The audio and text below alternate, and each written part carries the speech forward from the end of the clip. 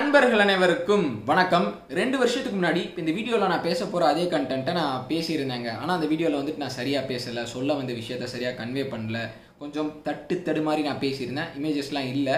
என்ன விஷயம் அப்படின்னு பார்த்துக்கிட்டிங்கன்னா ஆயிரத்தி தொள்ளாயிரத்தி தொண்ணூற்றி ஒன்பதாம் ஆண்டு நம்மளுடைய ரெண்டு MiG twenty one fighter jets வந்து பாகிஸ்தானினுடைய பாகிஸ்தான் நேவியினுடைய சர்வேலன்ஸ் ஏர்கிராஃப்டை எப்படி சுட்டு வீழ்த்துச்சு அப்படின்றதான் விஷயம். அதை பற்றி தான் நான் பேசியிருந்தேன்.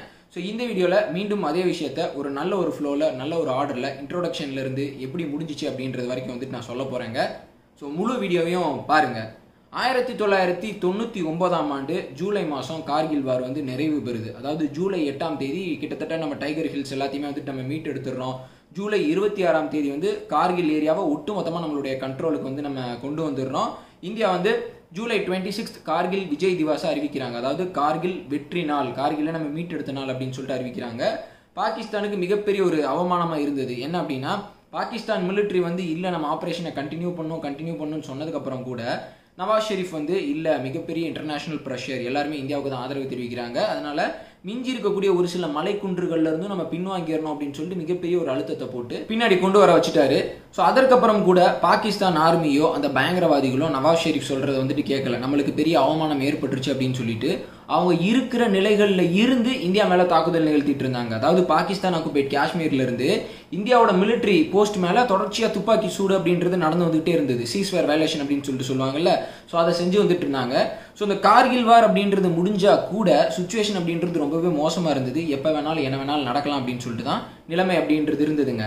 ஸோ அடுத்த மாதம் ஆகஸ்ட் மாதம் பத்தாம் தேதி குஜராத்தில் இருக்கக்கூடிய நலியா ஏர்பேஸில் வந்து நம்மளுடைய ஏர் சீஃப் மார்ஷல் வந்து ஆகஸ்ட் பதினொன்றாம் தேதி விசிட் பண்ண வராரு. அவர் விசிட் பண்ண வர ஸோ ஏர் சீஃப் வந்து வர ஸோ அதனால பெரிய லெவலில் அந்த நலியா ஏர்பேஸில் வந்துட்டு ப்ரிப்பரேஷன் அப்படின்றது நடந்து வந்துட்டு இருக்குங்க ஸோ அந்த சமயம் அந்த ஏர்பேஸினுடைய குரூப் கேப்டன் விஜய் சர்மா அவர்கள் வந்து சரியாக பத்து ஐம்பத்தி ரெண்டு மணி அளவில் ரேடார் வந்து ஒரு முக்கியமான பாகிஸ்தான் ஏர்கிராஃப்டை ட்ராக் பண்ணதை நோட்டீஸ் பண்ணுறாரு அதுவும் இந்தியன் டெரிட்டரிக்குள்ளே அந்த ஏர்கிராஃப்ட் பார்த்துக்கிட்டிங்கன்னா இந்தியன் டெரிட்டரியை நோக்கி உள்ள வந்துட்டு இருக்கு சவுத் ஈஸ்ட் டைரக்ஷன்ல கராச்சியில இருந்து இரநூறு கிலோமீட்டர் தொலைவில் இந்தியாவை நோக்கி சவுத் ஈஸ்ட் டைரக்ஷன்ல வந்து அந்த ஏர்கிராஃப்ட் அப்படின்றது வந்துட்டு இருக்கு இமீடியட்டா அதை மானிட்டர் பண்ண ஆரம்பிக்கிறாங்க. பத்து ஐம்பத்தி ரெண்டுக்கு அவர் அந்த ஏர்கிராஃப்டை ரேடார்ல டிடெக்ட் பண்றாரு அப்படின்னா பத்து ஐம்பத்தி ஏழுக்கு ரெண்டு மிக் டுவெண்ட்டி ஒன் ஃபைட்டர் ஜெட்ஸை வந்துட்டு ஸ்கிராம்பிள் பண்ண அனுப்பிச்சிடுறாரு. பத்து ஐம்பத்தி ஒன்பது மணிக்கு ரெண்டு மிக் டுவெண்ட்டி ஒன் ஃபைட்டர் ஜெட்ஸும் அந்த பாகிஸ்தான் ஏர்கிராஃப்டை அப்ரோச் பண்ணி அந்த ஏர்கிராஃப்ட் கிட்டேயே வந்துட்டு போயிருதுங்க. அது வந்து பாகிஸ்தான் நேவினுடைய ஒரு சர்வேலன்ஸ் ஏர்கிராஃப்ட். ஸோ அந்த ஏர்கிராஃப்டை கிட்ட வந்து அப்ரோச் பண்ணிட்டாங்க. ஆனால் கிளவுட்ஸ் வந்து ரொம்பவே பெரிய லெவலில் இருந்ததுனால அந்த ஏர்கிராஃப்டில் வந்துட்டு வெப்பன்ஸ் லோட் செய்யப்பட்டு இருக்குதா அப்புறம் வந்து அது எவ்வளோ பெரிய ஏர்கிராஃப்ட் உண்மையிலேயே அது பாகிஸ்தான் ஏர்கிராஃப்ட் தானா? பாகிஸ்தான் ஏர்ஃபோர்ஸினுடைய சிம்பிள் அதில் இருக்கா அப்படின்னு சொல்லிட்டு எல்லா விஷயத்தையும் பார்க்கறதுக்கு நம்மளுடைய ரெண்டு பைலட்ஸ் அதாவது ரெண்டு MiG twenty one fighter jets வந்துட்டு ஓட்டிட்டு போகிறாங்களா ஸோ அதனுடைய பைலட்ஸ் வந்து ட்ரை பண்ணி வந்துட்டு இருக்காங்க அதில் வந்து ஒருத்தர் பார்த்துக்கிட்டிங்கன்னா ஸ்குவாட்ரன் லீடர் பண்டேலா அப்படின்றவர். ஸோ ஸ்குவாட்ரன் லீடர் வந்துட்டு தொடர்ச்சியாக குரூப் கேப்டன் விஜய் சர்மா அவர்கள் அதாவது கண்ட்ரோல் ஸ்டேஷனில் இருக்கக்கூடிய விஜய் சர்மா அவர்கள்கிட்ட வந்துட்டு தொடர்ச்சியாக பேசிகிட்டு இருக்கிறாரு ஆர்டர்ஸ் வந்துட்டு வாங்கிட்டு இருக்கிறாரு. ஸோ ஒரு குறிப்பிட்ட உயரத்துக்கு போனதுக்கப்புறம் கிளவுட்ஸ் வந்துட்டு இல்லை.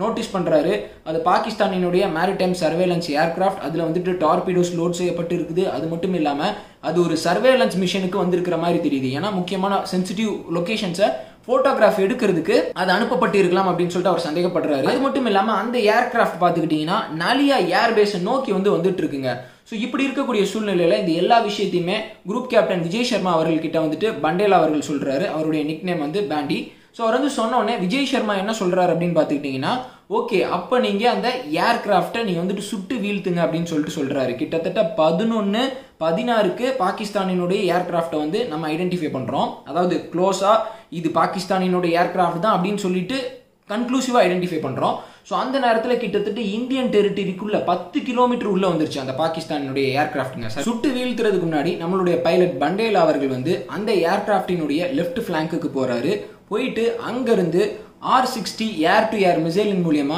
அந்த ஏர்கிராஃப்டினுடைய பாகிஸ்தான் ஏர்கிராஃப்டினுடைய இன்ஜினை குறி வச்சு துல்லியமாக வந்துட்டு தாக்குதல் நிகழ்த்துறாருங்க. ஸோ பதினொன்று பதினாறு காலையில் பதினொன்று பதினாறுலேருந்து பதினொன்று பதினேழுக்குள்ள இந்த விஷயங்கள் எல்லாமே வந்துட்டு நிகழ்ந்துருது. பாகிஸ்தான் ஏர்கிராஃப்ட்டுக்கு மிகப்பெரிய சேதம் அப்படின்றது ஏற்படுதுங்க. ஸோ இவர் சுட போகிறதுக்கு சில ஃப்ராக்ஷன் ஆஃப் செகண்ட்ஸுக்கு முன்னாடி பாகிஸ்தானினுடைய ஏர்கிராஃப்ட் வந்து இந்தியாவுக்குள்ள நோக்கி அந்த டேரக்ஷனில் வந்துட்டு இருக்குல்ல சடனாக நம்மளை சுட போகிறாங்க நம்மளை வந்துட்டு ரவுண்டு கட்டிட்டாங்க அப்படின்னு தெரிஞ்சோடனே நம்மளுடைய மிக் டுவெண்ட்டி ஒன் ஃபைட்டர் ஜெட்ஸை நோக்கி ஒரு பயமுறுத்தும் அச்சுறுத்தும் விதத்தில் வந்துட்டு பறந்துருக்கு. திருப்பி பாகிஸ்தானை நோக்கியே வேகமாக பறக்கிறதுக்கு முயற்சி பண்ணியிருக்குங்க. ஸோ சுடுறப்போ கிட்டத்தட்ட பத்து கிலோமீட்டர் அதாவது பதினொன்று பதினாறுக்கு வந்துட்டு கிட்டத்தட்ட பத்து கிலோமீட்டர் இந்தியன் டெரிட்டரிக்குள்ளே இருக்குது அப்படின்னா அந்த மிசைல் வந்துட்டு அட்டாக் ஆகிறப்போ வந்து கிட்டத்தட்ட அஞ்சு கிலோமீட்டர் பாகிஸ்தான் கிட்ட வந்துட்டு அந்த ஏர்கிராஃப்ட் வந்து போயிருது. ஸோ அதற்கப்புறம் அந்த ஏர்கிராஃப்ட் வந்து கொஞ்சம் கொஞ்சமாக நிலை தடுமாறி கீழே அப்படியே டிசெண்டிங் டைரக்ஷனில் போயிட்டு இந்தியா பாகிஸ்தான் பார்டரில் சர் கிரீக் வாட்டர்வே அப்படின்னு சொல்லிட்டு சொல்லுவாங்க. அது ஒரு டிஸ்பியூட்டட் டெரிட்டரி ஸோ அந்த இடத்துல இந்தியாவுக்கு சொந்தமான பகுதி தான் பாகிஸ்தான் கண்டெஸ்ட் பண்ணுறாங்க ஸோ அந்த இடத்துல அந்த ஏர்கிராஃப்ட் வந்து விழுந்துருது. விழுகிறப்போ ஒரு சில பாகங்கள் வந்து பாகிஸ்தான் சைடில் விழுந்துருது. ஒரு சில பாகங்கள் வந்து இந்தியன் சைடில் வந்துட்டு விழுந்துருதுங்க. ஸோ அந்த ஏர்கிராஃப்டில் இருந்த கிட்டத்தட்ட பதினோரு செயலர்ஸ் அப்புறம் அஞ்சு பாகிஸ்தான் நேவி ஆஃபீஸர்ஸ் வந்துட்டு உயிரிழந்துடுறாங்க. ஆயிரத்தி தொள்ளாயிரத்தி எழுபத்தி ஒன்றாம் ஆண்டு நடந்த பங்களாதேஷ் லிபரேஷன் வார்க்கு அப்புறம் பாகிஸ்தான் நேவிக்கு ஏற்பட்ட மிகப்பெரிய ஒரு இழப்பாக இது வந்து பார்க்கப்படுது. இமீடியட்டாக பாகிஸ்தான் என்ன குற்றச்சாட்டு இந்தியா மேலே வச்சாங்க அப்படின்னா அது வந்து ஒரு ட்ரைனிங் ஏர்கிராஃப்ட் ஸோ அதை போய் நீங்கள் சுட்டு வீழ்த்தி இருக்கிறீங்க. அது வந்து ரெகுலராக அதோட மிஷனில் தான் வந்துட்டு போயிட்டு இருந்தது. அது வந்து பார்டர்லாம் கிராஸ் பண்ணவே இல்லை. முக்கியமான டெப்ரிஸ் எல்லாமே வந்துட்டு பாகிஸ்தான் சைடில் தான் விழுந்திருக்கு அப்படின்னு சொல்லிட்டு ஏகப்பட்ட விஷயங்களை இந்தியாவுக்கு எதிராக பாகிஸ்தான் வந்துட்டு சொன்னாங்க. ஆனால் இந்தியா வந்து நம்ம சைடு பாகிஸ்தான் ஏர்கிராஃப்ட் விழுந்துச்சுல அதோட அந்த டெப்ரிஸ் இருக்குல்ல அந்த பாகங்கள் இருக்குல்ல அதை எடுத்து இல்லை இல்லை பாதி பாகங்கள் இந்தியா சைடில் தான் விழுந்திருக்கு. அதாவது உங்களுடைய ஏர்க்ராஃப்ட் வந்து நாங்கள் சுட போகிறோம்னு தெரிஞ்சவொடனே உங்கள் கண்ட்ரி டேரக்ஷனை நோக்கி வந்துட்டு அது பறந்துட்டு இருக்கு ஸோ நாங்கள் சுடுறப்போ அது வந்து உங்கள் கண்ட்ரி டேரக்ஷனை நோக்கி தான் டிசெண்டிங்காக வந்து விழுகும். ஸோ அப்படி இருக்கிறப்போ உங்கள் சைடு பாகங்கள் விழுகிறதுக்கான வாய்ப்புகள் அப்படின்றது நிறையா இருக்குது ஆனால் எங்கள் சைடு அது இவ்வளோ தூரம் இன்ட்ரூட் ஆயிருக்கு அப்படின்றத இந்தியா வந்துட்டு தெளிவுபடுத்தினாங்க. குறிப்பாக இந்தியன் ஹெலிகாப்டர்ஸ் வந்து இமீடியட்டாக அந்த ரான் ஆஃப் கட்ச் ரீஜனில் ரொம்பவே ஒரு மாதிரி மார்ஷியான ஏரியா ஒரு மாதிரி சதுப்பு நிலம் அப்படின்னு வந்துட்டு சொல்லலாம். ஸோ அந்த பகுதியில் அந்த ஏர்கிராஃப்டினுடைய டெப்ரிஸை இமீடியட்டாக வந்துட்டு கண்டுபிடிச்சாங்க. அது மட்டும் இல்லாமல் பாகிஸ்தானினுடைய ஏர்ஃபோர்ஸ் வந்து இமீடியட்டாக நம்ம சைடு விழுந்திருந்த அந்த டெப்ரிஸை வந்து தேடி எடுக்கிறதுக்கு இந்தியா இந்தியாவுக்கு வந்து எந்த எவிடன்ஸும் போயிடக்கூடாதுன்னு சொல்லிட்டு அதை எடுக்கிறதுக்கு முயற்சி பண்ணப்போ இந்தியா வந்துட்டு அதை விடவே இல்லை. இந்தியா சைடு இருக்கிற எல்லா டெப்ரிஸுமே வந்துட்டு இந்தியா கலெக்ட் பண்ணிட்டாங்க. ஆனால் பாகிஸ்தான் அக்செப்ட் பண்ணிக்கவே இல்லை. எங்கள் சைடு வந்து நீங்கள் டெப்ரிஸ் எடுத்தீங்க. அதாவது பாகங்களை வந்துட்டு எடுத்துகிட்டு போனீங்க அப்படின்னு சொல்லிட்டு ஏகப்பட்ட குற்றச்சாட்டை வச்சாங்க. இந்தியன் ஹை கமிஷனரை வந்துட்டு சம்மோன் பண்ணாங்க. பயங்கரமான பதிலடி கொடுப்போம் அப்படின்னு சொல்லிட்டு சொன்னாங்க. யுனைடெட் நேஷன்ஸ்க்கு வந்துட்டு நிறைய எக்ஸ்பிளனேஷன் கொடுத்தாங்க. இந்த மாதிரி இந்தியா அத்துமீறி இருக்கிறாங்க அப்படின்னு சொல்லிட்டு. ஆனால் இந்தியா வந்து ஏகப்பட்ட கேள்விகளை வந்துட்டு பாகிஸ்தானுக்கு வச்சாங்க. இது வந்து ஒரு ட்ரைனிங் பாகிஸ்தான் நேவியினுடைய ஒரு ட்ரைனிங் ஏர்கிராஃப்ட் அப்படின்னா இது கடல் மட்டத்துக்கு மேலே தானே பறந்து போகணும். எதற்கு வந்து இந்தியா பாகிஸ்தான் பார்டர் பக்கத்தில் இது பறந்து போயிட்டு இருக்கு? அது மட்டும் இல்லாமல் நீங்கள் பார்டருக்குள்ளே வந்ததுக்கான எல்லா எவிடன்ஸுமே வந்துட்டு எங்கள்கிட்ட இருக்கு. நீங்கள் வந்து பத்து கிலோமீட்டர் இன்டர்நேஷனல் பவுண்டரி கிட்ட பத்து கிலோமீட்டர் தள்ளி தான் வந்துட்டு நீங்கள் பறக்கணும். ஆனால் நீங்கள் ஏன் அதெல்லாம் மீறினீங்க அப்படின்னு சொல்லிட்டு இந்தியா அடுக்கடுக்காக ஏகப்பட்ட கேள்விகளை வந்துட்டு பாகிஸ்தான் கிட்ட வச்சாங்க. நம்மளுடைய டிஃபென்ஸ் மினிஸ்டர் ஜார்ஜ் பெர்னாண்டஸ் அவர்கள் வந்துட்டு என்ன சொன்னார் அப்படின்னா இதற்கு முன்னாடியும் இதே மாதிரி இந்த பாகிஸ்தான் ஏர்கிராஃப்ட் வந்து ரெகுலராக இந்த செக்டரில் இன்க்ளூட் ஆகிட்டு தான் இருந்திருக்கு. ஒவ்வொரு தடவையும் எங்களுடைய ஃபைட்டர் ஜெட் ஸ்கிராம்பிள் ஆகி அதை சேஸ் பண்ணுறப்போ வந்து டக்குன்னு வந்துட்டு அவங்க சைடு பார்டருக்குள்ள வந்துட்டு அது தப்பிச்சு போயிருது. அதாவது துரத்துவாங்க அப்படின்னு தெரிஞ்சு வேணும்னே வம்பளுக்கும் விதத்தில் வந்து இது பறந்துருக்கு அப்படின்னு சொல்லிட்டு அவர் ஒரு எக்ஸ்பிளனேஷன் கொடுத்துருந்தாரு. பாகிஸ்தான் இந்த விஷயத்தில் சொல்றது எதையுமே நாங்கள் அக்செப்ட் பண்ணிக்க மாட்டோம் அப்படின்னு சொல்லிட்டு அவர் ரொம்பவே அக்ரெசிவான ஒரு ஸ்டேட்மெண்ட் வந்துட்டு போட்டார் பாகிஸ்தான் அதோட நிக்கல. பெரிய இழப்பு இல்லையா? அது மட்டும் இல்லாமல் உலக அரங்கில் பெரிய லெவலில் அவமானம் வேற. அதனால இன்டர்நேஷனல் கோர்ட் ஆஃப் ஜஸ்டிஸ்க்கு வந்துட்டு பாகிஸ்தான் போனாங்க. செப்டம்பர் மாதம் ஆயிரத்தி தொள்ளாயிரத்தி தொண்ணூற்றி ஒன்பதாம் ஆண்டு. ஸோ அந்த கேஸில் ஜூன் மாதம் அதாவது ரெண்டாயிரம் ஆண்டு ஜூன் மாதம் வந்து தீர்ப்பு அப்படின்றது வருது. முழுக்க முழுக்க பாகிஸ்தான் வந்து இந்த விஷயத்தில் நீதி கேட்கறது நியாயமே கிடையாது. நாங்கள் வந்து இதற்கு ஒரு தீர்ப்பு அப்படின்றத வழங்க முடியாது. எங்களுக்கு அந்த ரைட்ஸ் அப்படின்றது கிடையாது அப்படின்னு சொல்லிட்டு இன்டர்நேஷனல் கோர்ட் ஆஃப் ஜஸ்டிஸ் சொல்லிடுறாங்க. பாகிஸ்தான் சொல்லுனா எல்லா ஆதாரத்தையுமே வந்துட்டு நீக்கிடுறாங்க. அக்செப்ட் பண்ணிக்கல. அப்பீலும் பண்ண முடியாது அப்படின்னு சொல்லிட்டு சொல்லிடுறாங்க. எல்லாருமே வெர்டிக்ட் இந்தியாவுக்கு ஃபேவராக வந்துட்டு கொடுத்துட்றாங்க. இந்த கேஸுக்கு மட்டும் கிட்டத்தட்ட பாகிஸ்தான் வந்து நாலு லட்சம் டாலர் செலவு பண்ணியிருக்கிறாங்க. எதற்கு அப்படின்னா இந்தியா வந்து எங்களுக்கு இழப்பீடாக கிட்டத்தட்ட அறுபது மில்லியன் டாலர் கொடுக்கணும் அப்படின்னு சொல்லிட்டு முயற்சி பண்ணி. அதில் வந்து பார்த்துக்கிட்டிங்கன்னா அந்த சுட்டு வீழ்த்தப்பட்ட அந்த ஏர்கிராஃப்டினுடைய விலையே வந்து முப்பத்தி அஞ்சு மில்லியன் டாலருங்க ஸோ பாகிஸ்தானுக்கு கடைசியில் செலவு தான் மிச்சமாக வந்துட்டு முடிஞ்சது. இதை வந்து ஏன் இப்போ ஒரு முக்கியமான விஷயமா நான் சொல்கிறேன் அப்படின்னா MiG twenty one fighter jets வந்து ஒரு காலத்தில் ரொம்பவே சிறப்பான ரோல் வந்து வகிச்சிருக்கு. அது மட்டும் இல்லாமல் கார்கில் முடிஞ்ச சில வாரங்களிலேயே கார்கில் யுத்தம் முடிஞ்ச சில வாரங்களிலேயே இந்தியா வந்து பாகிஸ்தானுக்கு மிகப்பெரிய ஒரு பயத்தை காமிச்சிருக்கிறாங்க. அதாவது நீங்கள் வந்து இனிமேல் அத்துமீறினீங்க அப்படின்னா பயங்கரமான விளைவுகளை சந்திக்க நேரிடும் அப்படின்னு சொல்லிட்டு அது இந்தியா எப்பயுமே கொஞ்சம் முன்னாடியே காட்டணும். ஏதாவது அவங்க பண்ணாதான் வந்துட்டு நம்ம பதிலுக்கு ஒரு ரெஸ்பான்ஸ் போடணும் அப்படின்றது இல்லை. அதற்கு முன்னாடியே அவங்களுக்கு சரியான இடத்த காட்டணும் அப்படின்றத இந்த வீடியோவில் நான் முக்கியமாக சொல்ல வர விஷயங்க. அந்த ரெண்டு ஐஏஎஃப் பைலட்ஸ் இருந்தாங்கல்ல இமீடியட்டாக நேஷனல் ஹீரோஸாக வந்துட்டு மாறினாங்க. அதாவது இமீடியட்டாக ஸ்கிராம்பிள் பண்ணி கரெக்டாக பாகிஸ்தானினுடைய ஏர்கிராஃப்டை சுட்டி வீழ்த்தினாங்க. பண்டேல் அவர்களுக்கு வந்துட்டு வாயுசேனா மெடல் வழங்கப்பட்டது. அது மட்டும் இல்லாமல் குரூப் கேப்டன் விஜய் சர்மா அவர்கள் அது மட்டும் இல்லாமல் நம்மளுடைய ஹெலிகாப்டரினுடைய பைலட் அதாவது பாகிஸ்தானினுடைய அந்த விமானத்தினுடைய துண்டுகள் வந்து இந்தியா சைடு விழுந்திருந்ததுல அதை இமீடியட்டாக ரெண்டு மணி நேரத்துக்குள்ள கண்டுபிடிச்சு ரெக்கவர் பண்ணி எடுத்த நம்மளுடைய இன்னொரு பைலட் பங்கஜ் அப்படின்றவருக்கும் வந்துட்டு வாயுசேனா மெடல் வந்து கொடுக்கப்பட்டது.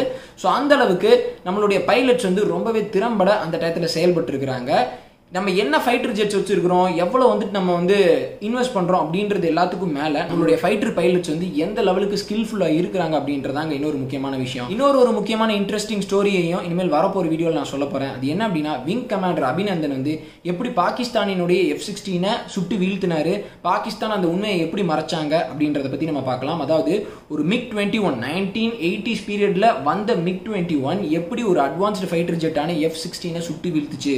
அது வந்து ஒரு சாதாரணமான விஷயம் இல்லை. ஆனால் இன்னைக்கு எல்லாத்தையுமே வந்து பாகிஸ்தான் மூடி மறைக்கிறாங்க. நம்ம பெரிய லெவலில் இதை பற்றி பேசி ஆகணும் பெரிய லெவலில் விங் கமாண்டர் அபிநந்தனை நம்ம பாராட்டி ஆகணுங்க அதை வந்து இனிமேல் வரப்போகிற வீடியோவில் பார்க்கலாம்.